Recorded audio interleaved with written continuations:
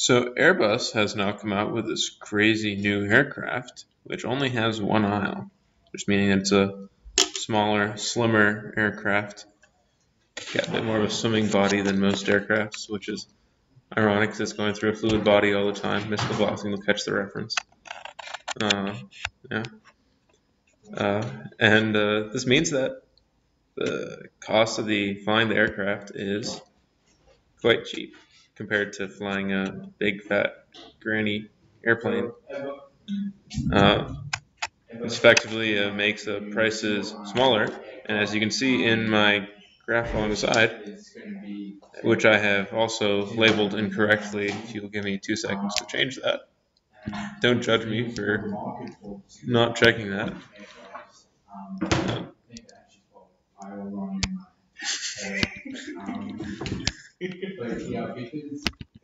Just, just hold on one second. I'm, so this is being struggled.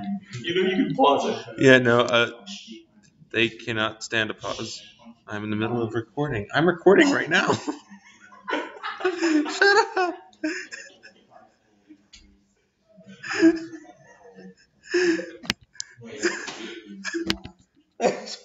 Thanks for that.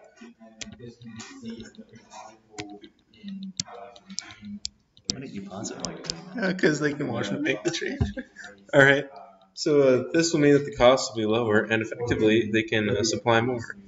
Uh, it'll cause a shift in the demand in the supply curve down from S1 to S2, and effectively improve the market, making uh, the point of equilibrium go from that's a terrible line from there to there, meaning that the price of flights goes down and the quantity of flights goes up,